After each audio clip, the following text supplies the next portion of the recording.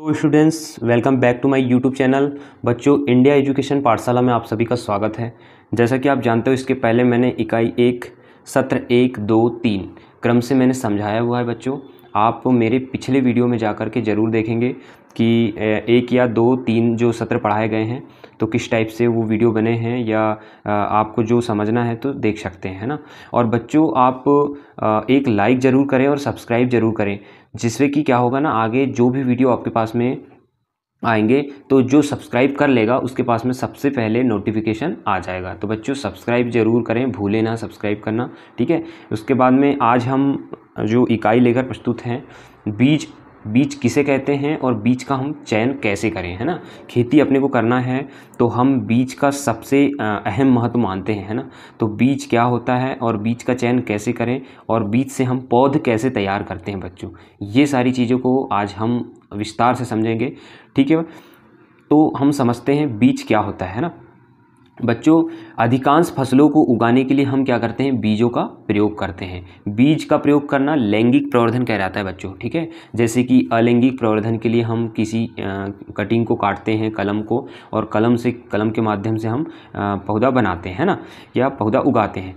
उसी टाइप से आज हम बात करते हैं कि बीज क्या होता है। बीज बहुत सारी फ़सलें होती हैं जो बीज के माध्यम से उगाई जाती हैं बच्चों, ठीक है? अधिकांश फ़सलों को उगाने के लिए बीज एक मूलभूत ज़रूरत है है ना? क्या है? मूलभूत ज़रूरत है। व्यापक अर्थ में यह पौधों का वह हिस्सा है जो प्रसारण या रोपण या पुनर्जनन मतलब कि प्रसारण यानी समझो एक पौधा से दूसरा पौधा बनाना या खेती करना, फ़सल उगाना, इसी को हम बोल सकते हैं प्रसारण, है ना? प्रसारण या रोपण। रोपण रोपण किसे बोलेंगे बच्चों? ट्रांसप्लांटिंग समझते हो आप ट्रांसप्लांटिंग क्या होती है है ना? ट्रांसप्लांटिंग जब हम प्रोट्रे या आ, किसी में पौधे तैयार करते हैं ना पौध तैयार करते हैं उसके बाद में जब पौध को स्थानांतरण करते हैं हम उसी को बोलते हैं ट्रांसप्लांटिंग है ना? उसी को बोलते हैं रोपण हिंदी में। तो रोपण करने के लिए हमें सबसे अहम चीज़ जो लगती है वो लगती है बीज है ना? बीज पुनर्जनन के उद्देश्य के लिए उपयोग किया जाता है ना? सब्जियों के बीज महँगे होते हैं। क्या होता है बच्चों? जो सब्जियों के बीज होते हैं, बहुत महँगे होते हैं। देखा होगा आप अपने मार्केट जब जाते हो आप, बीज की दुकान में जब खरीदते होगे, आप पैकेट में मिलते हैं, बहुत महँगे मिलते हैं सब्जियों के बीज, है ना? और जो अनाजों के बीज होते हैं बच्चों, थोड़े कम होते हैं महँगे, है ना? ये चीज़ें रहती हैं। और बुआई या हैंडलिंग के दौरान उनका बर्बादी से खेती की लागत बढ़ जाती है। जब हम बुआई करते हैं, जैसे कि प्रो ट्रे में यदि आप बीज लगा रहे हो तो क्या होता है, यदि बीज सड़ जाए या नुकसान हो जाए तो क्या होगा, लागत अधिक महँगी हो जाती है, लागत, है ना? ये चीज़ें। आगे हम देखते हैं स्वस्थ और अच्छी गुणवत्ता वाले बीज एक स्वस्थ स्वस्थ फ़सल दे सकते हैं ना। अच्छे बीज अगर आप लगाओगे खेती में, अच्छे बीज का मतलब ये है कि प्रमाणित होना चाहिए वो, है ना? और या तो पोचा नहीं होना चाहिए, कटा हुआ नहीं रहना चाहिए। मतलब कि प्रमाणित अगर आप लेते हैं बीज तो क्या होगा कि वो चुनिंदा बीज, चयन हुआ बीज मिलेगा आपको, है ना? ये चीज़ें रहती हैं। तो प्रमाणित बीज ही आप उपयोग करें तो क्या होगा? खेती में आपकी फ़सल अच्छी होगी, है ना? इसलिए बीज का चयन महत्वपूर्ण होता है। केवल अच्छी गुणवत्ता वाले बीज जो राष्ट्रीय खाद्य निगम द्वारा निर्धारित निर्देशों के अनुसार बोए जाते हैं, एक वांछित फ़सल उपज दे सकते हैं ना? बच्चों, क्या होता है कि आप बीज निगम बीज निगम जो कंपनियाँ होती हैं, गवर्नमेंट कंपनियाँ हो सकती हैं, प्राइवेट कंपनियाँ हो सकती हैं तो वो क्या होती हैं, एक प्रमाणित बीज बनाती हैं ना? तो उसी का अपने को क्या करना है बच्चों, यहाँ पे अपने को उपयोग करना है, तभी आपकी फ़सल अच्छी हो सकती है और गुणवत्ता फ़सल की होगी तो उपज भी बहुत अच्छी होने वाली है आपको, है ना? इसके बाद में हम बात कर लेते हैं बच्चों, बीज आखिर में क्या है और बीज के कितने प्रकार हैं। ये देख पा रहे हैं आप, यहाँ सामने मैं डायग्राम के माध्यम से आपको बता रहा हूँ, बीज क्या है। देख रहे हो आप, बीज इस टाइप का भून रहता है, ठीक है? तो बीज को हम मुख्य तीन भाग से तीन या चार भाग में डिवाइड करते हैं। सबसे पहला बीज का जो भाग है बीज कोट, भ्रूण, प्लूमूल और रेडिकल ये चार भागों में बीज को विभाजित किया गया है। देख पा रहे हो आप चित्र के माध्यम से, है ना? तो ये आप चीज़ों को थोड़ा ध्यान से समझोगे बच्चों, क्योंकि ये बहुत ऐसी चीज़ें हैं ना, बहुत इंपॉर्टेंट और आईएमपी चीज़ें हैं। तो ये ज़रूर आ जाती हैं। एक क्वेश्चन ज़रूर यहाँ से बनता है। जैसा कि जानते हो आप, बीज किसे कहते हैं और बीज के मुख्य चार भाग या भाग कितने होते हैं, ये करके आपको एक क्वेश्चन पूछ सकता है। तो आप यहाँ से ज़रूर क्वेश्चन को देख लेना, अच्छे से पढ़ लेना। बहुत ही सरल चीज़ है ये। आगे हम बढ़ते हैं। बीज की गुणवत्ता यदि होगी तो उसके मापदंड क्या होंगे या गुणवत्ता में क्या होगी? तो पढ़ते हैं ज़रा गुणवत्ता अगर अच्छा बीज है तो उसकी क्या विशेषता होगी बच्चों? एक बीज ऐसा होना चाहिए अनुवांशिक रूप से शुद्ध जेनेट जेनेटिकली क्या होना चाहिए? प्योर होना चाहिए बच्चों। कैसे प्योर होना चाहिए? कि उसमें क्या है पुराने जो अनुवांशिक रूप से जो आ, जो बीज होना चाहिए वो शुद्ध बीज होना चाहिए गुणवत्तापूर्ण बीज होना चाहिए ये चीज़ें उसकी रहना चाहिए बच्चों। और अनुवांशिक रूप से अच्छी बीज का पौधा हो तो ही हम उसका उपयोग कर सकते हैं ना। उसके बाद में बात कर लेते हैं जीवन जीवक्षम। जीवक्षम होना चाहिए, है ना? उसकी वैलिडिटी अच्छी होना चाहिए, जीवन क्षमता ज़्यादा होना चाहिए बच्चों। उसके बाद में हम सेकेंड चीज़ बातेंगे अधिकतम नमी युक्त सामग्री, है ना? अधिकतम नमी युक्त सामग्री अन्य बीजों के मिश्रण से मुक्त होना चाहिए। कोई भी दूसरे बीज ना मिले हों उसमें। ये चीज़ों का आपको ध्यान देना है बच्चों, है ना? और अन्य बीजों के मिश्रण से मुक्त के साथ साथ क्या है? स्वस्थ और संक्रमण या अंदरूनी संक्रमण से मुक्त होना चाहिए। मतलब कि रोग नहीं होना चाहिए उसमें, अंदरूनी संक्रमण किसी प्रकार का नहीं होना चाहिए, है ना? उसके बाद में बात करते हैं साबूत, अर्थात इसके किसी भी हिस्से हिस्से को किसी भी प्रकार की क्षति नहीं होना चाहिए, जैसे ये बीज है तो इसको किसी भी प्रकार से क्षति नहीं होना चाहिए, जैसे क्षति वाला बीज इस टाइप का रहेगा, है ना? तो ये क्षति नहीं होना चाहिए पोचा नहीं रहना चाहिए, बीज एकदम बच्चों स्वस्थ होना चाहिए, ये चीज़ याद रखना है। उसी को बोल सकते हैं हम कि गुणवत्तापूर्ण बीज अच्छा गुणवत्ता बीज ये ऐसा बीज को आप खेतों में लगाओगे बच्चों तो स्वाभाविक बात ये है कि बहुत अच्छी आपकी फ़सल हो जाएगी, है ना? अब आगे हम बात करते हैं बच्चों, बीज उत्पादन करने वाली एजेंसियों की बात कर लेते हैं कि कौन कौन सी एजेंसियाँ बीज का उत्पादन करती हैं। आगे पढ़ते हैं। बीज उत्पादन प्रशिक्षण प्रशिक्षित कर्मियों या विशेषज्ञों की देखरेख में की जाने वाली फ़सलों की एक विशेष खेती है। देश में बीजों के अधिकृत स्रोत हैं है ना? मतलब क्या है? बड़ी बड़ी कम, कंपनियों में जो विशेषज्ञ रहते हैं उनकी देखरेख में बीज उत्पादन किया जाता है बच्चों है ना? अब आगे हम बात करते हैं कि कौन कौन सी कंपनियाँ यहाँ पे बीज बनाती हैं। पहले बात कर लेते हैं भारतीय कृषि अनुसंधान परिषद आईसीआर बहुत ही प्रसिद्ध ये अनुसंधान है अपना, भारतीय कृषि अनुसंधान परिषद, है ना? ये परिषद आईसीआर जो होता है बच्चों, बीज बनाता है। फिर दूसरा है राज्य कृषि विश्वविद्यालय, तीसरा चयनित राज्य बीज निगम, चौथा राष्ट्रीय बीज निगम, है ना?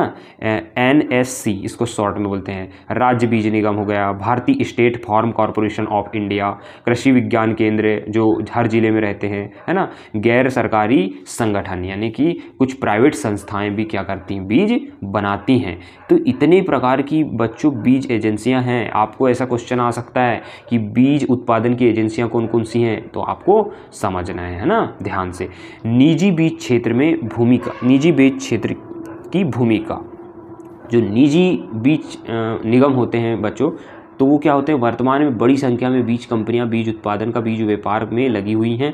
सब्ज़ी के बीज का रोपण सामग्री के मामलों में भारत में निजी क्षेत्र प्रमुख उत्पादक है। मतलब कि बहुत सारी प्राइवेट कंपनियाँ हो रही, क्या हो रहा है बच्चों?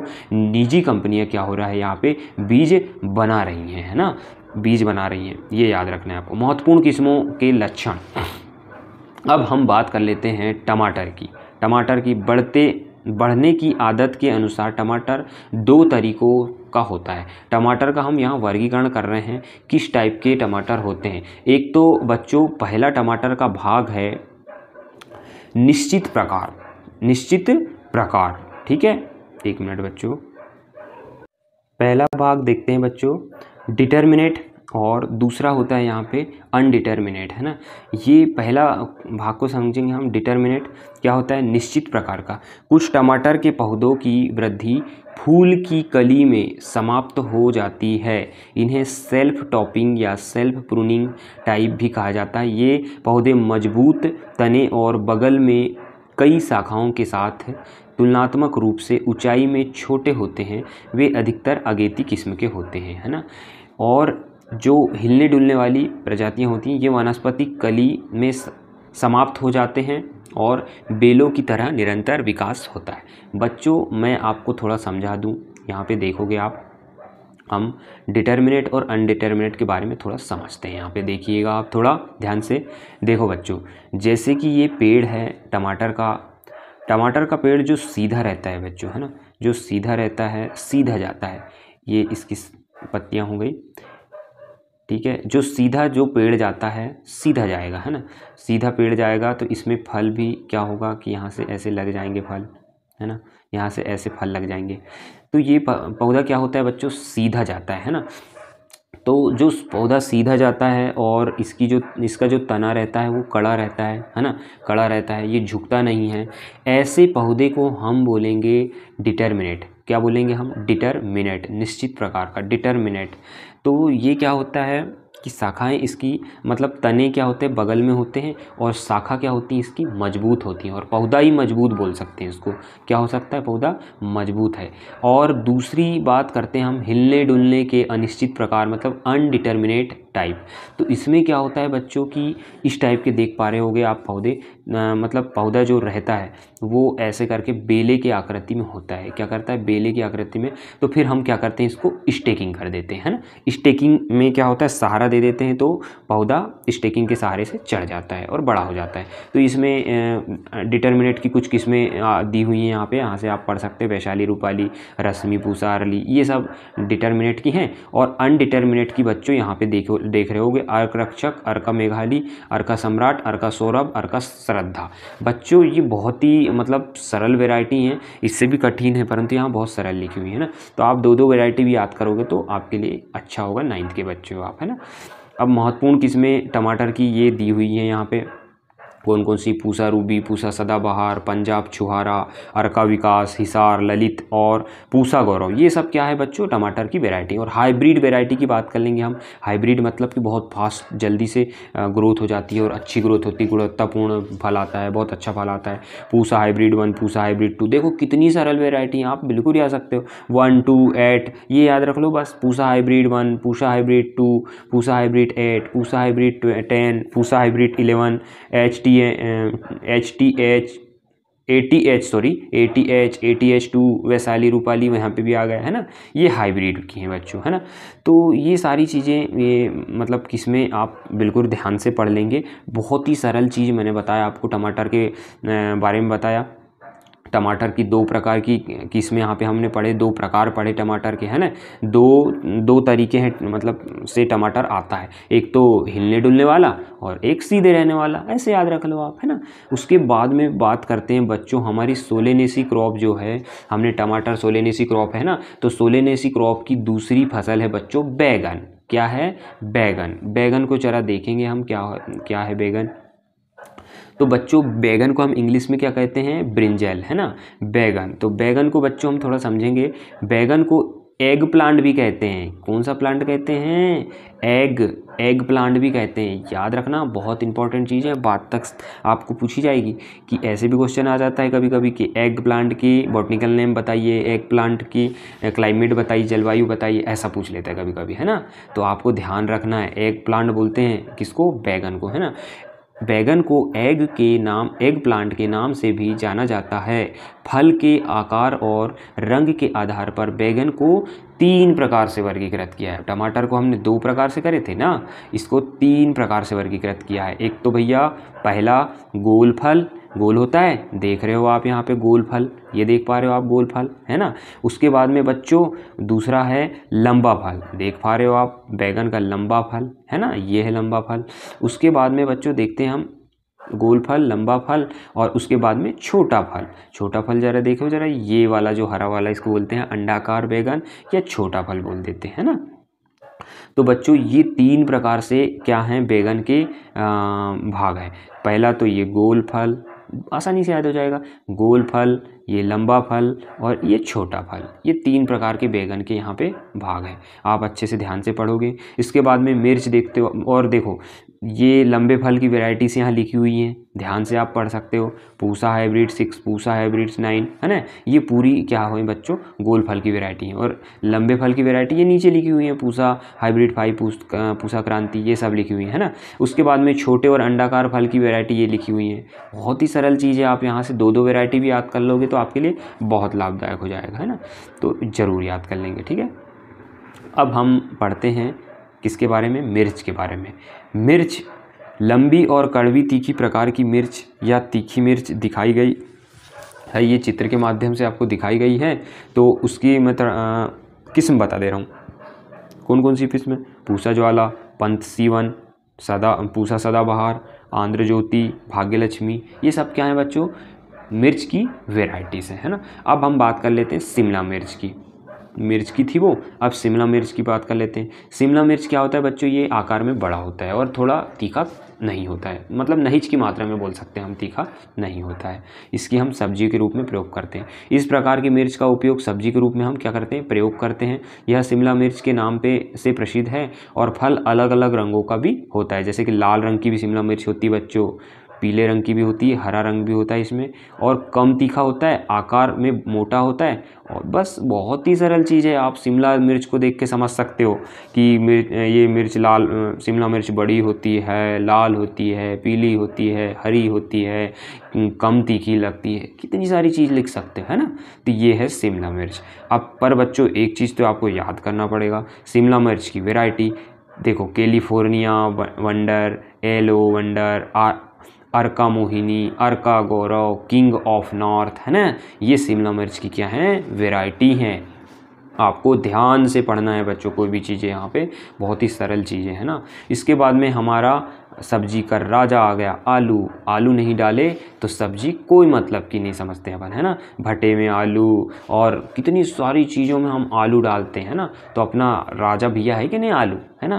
तो इसलिए बच्चों पढ़ते हैं आलू को ज़रा। आलू की शीघ्र पकने वाली, मध्यम अवधि में पकने वाली किस्म, देर से पकने वाली किस्म या प्रसंस्करण के लिए उपयुक्त किस्म है, ठीक है? तो आलू आलू आप जानते हो, आलू की जो किस्म है, ये शीघ्र शीघ्र यानी जल्दी पकने वाली बच्चों, ये मुख्य किस्म है, कुफरी अशोका, कुफरी चंद्रमुखी, कुफरी सूर्या, ये सब क्या है बच्चों? आलू की किस्म है है ना? तो बेटा, आपको क्या याद रखना है, यदि जिस जगह में कुफरी आया सामने, कुफरी आया तो समझ लेना कि आप आलू की वैरायटी पढ़ रहे हो। काय की वैरायटी पढ़ रहे हो? आलू की वैरायटी पढ़ रहे हो, है ना? ये चीज़ों का आपको ध्यान रखना बच्चों। देखो, मध्यम अवधि में पकने वाली, अपन शीघ्र पकने वाली पढ़े थे, अब मध्यम अवधि वाली पक, पढ़ रहे हैं। कुफरी कुफरी कुफरी कुफरी कुफरी। बिल्कुल, कुफरी आ ही रहा है। तो आप कुफरी ज्योति, कुफरी बादशाह, कुफरी बहार, कुफरी ललीमा, कुफरी जोहार कुफरी, सतेलज, ये सारी चीज़ें कुफरी, अगर आया तो समझ लेना आप आलू की वैरायटी आप पढ़ रहे हो, ठीक है? प्रसंस्करण के लिए उपयुक्त किस्म कौन कौन सी है? कुफरी चिप्सोना मिसले चिप्स बनाई जाती हैं। आप चिप्स खाते हो? पाँच रुपये दस रुपये का आप चिप्स लेकर खाते हो ना? तो ये कुफरी चिप्सोना से बच्चों बड़े बड़े आलू रहते हैं, चिप्स बनाए जाते हैं। कुफरी चिप्सोना वन, कुफरी चिप्सोना टू और कुफरी फ्रिसोना ये सब क्या है बच्चों? प्रसंस्करण। प्रसंस्करण का मतलब समझते हो बच्चों? प्रसंस्करण का मतलब ये होता है कि जब हम कच्चा माल किसी कंपनी को देते हैं या किसी उद्योग को देते हैं तो वो प्रसंस्करण करके बेचता है। उसी को हम, जो प्रक्रिया चलती है बना के बेचने की, उसी को हम क्या बोलते हैं? प्रसंस्करण। तो प्रसंस्करण के लिए उपयुक्त किस्म है ये, ठीक है? अब हम बात कर लेते हैं बच्चों, इतनी सारी जो चीज़ें हमने पढ़े, उनकी बीज दरों के बारे में बात कर लेते हैं। अपन ने क्या क्या पढ़े? याद करो ऊपर, टमाटर पढ़े अपन ने बैगन पढ़े अपन ने है ना? मिर्च पड़े अपन ने शिमला मिर्च पड़े अपन ने है ना? तो बच्चों, जो हम टमाटर लगाते हैं, उसकी शुद्ध जो बीज दर जो लगती है बच्चों, एक हेक्टेयर के लिए 400 से 500 ग्राम बीज दर लगती है ना? और हाइब्रिड का लाओगे तो आप 100 से डेढ़ सौ ग्राम लगेगा। 400 से 500 ग्राम क्या आप पौधा तैयार करोगे, रोपा तैयार करोगे उसका? और उसके बाद में ट्रांसप्लांटिंग रोपाई कर लोगे, है कि नहीं? फिर बैगन की देखोगे 400 से 500 मिर्च देख लो हज़ार से एक एक हज़ार से बारह सौ। ये बीज दर हैं, इतना बीज लगेगा आपको, है ना?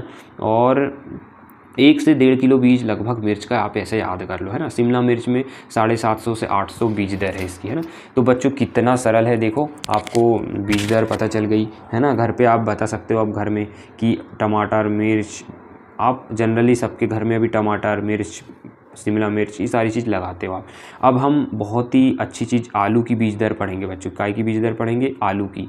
बहुत ही अच्छे से याद रखना। पूर्ण कंद यदि लगा रहे हो आप, ऐसा आलू लगा रहे हो तो आप पंद्रह से बाईस कुंटल तक लगाओगे, है ना?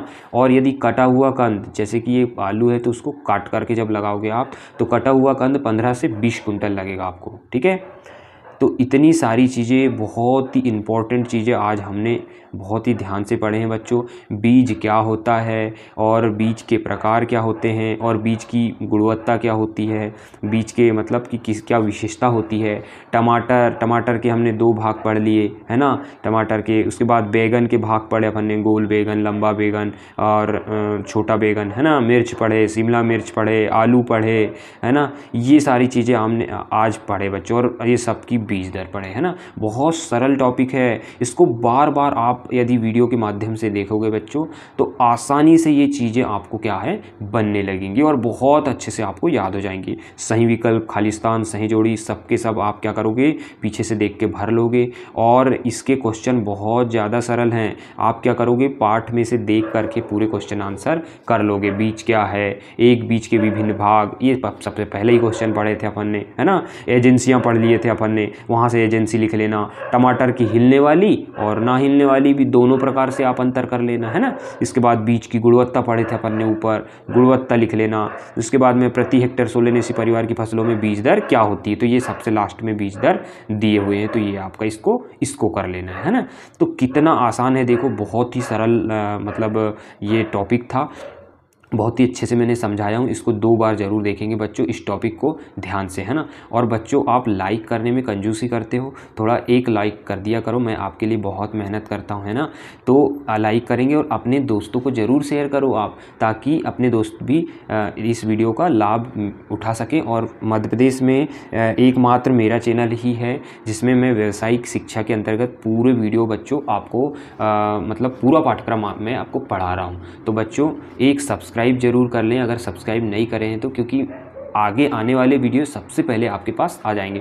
और चूँकि आप नाइन्थ के बच्चे हो तो आपको क्या होगा, अगले साल टेंथ पढ़ोगे आप तो टेंथ के भी हमारे चैनल पे वीडियो डलते हैं, है ना? तो टेंथ के भी डल रहे हैं इलेवन ट्वेल्थ सभी क्लास के एग्रीकल्चर का पूरा डाटा बच्चों हमारे यूट्यूब चैनल में डलता है। तो बच्चों, आप क्या करेंगे, हमारे चैनल को सब्सक्राइब ज़रूर कर लेंगे और लाइक ज़रूर करेंगे, है ना? ठीक है? और शेयर ज़रूर करेंगे, ठीक?